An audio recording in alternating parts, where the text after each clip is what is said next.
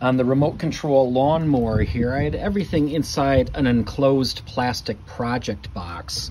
Now I've got my Cytron Duo motor controller here.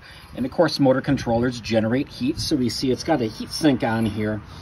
Um, but with that just being enclosed in a box, it did get relatively warm. So what I've done here is I've uh, dug through my box of parts and I found a 24 volt fan, which is perfect because this is a 24 volt system. I got two uh, 12 volt batteries running in series and I have the power for the fan rigged up through um, the second pole of the emergency power switch. So this acts as my main power. So if I turn it on, fan starts spinning. I can feel it's got a good airflow and it's blowing straight across the fins on the heatsink here. Now the one thing I will need to do is probably add some sort of a filter material to keep the grass clippings out.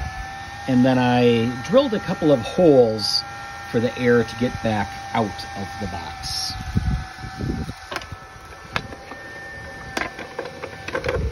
So basically that'll go back on place like that only without wires being stuck in it.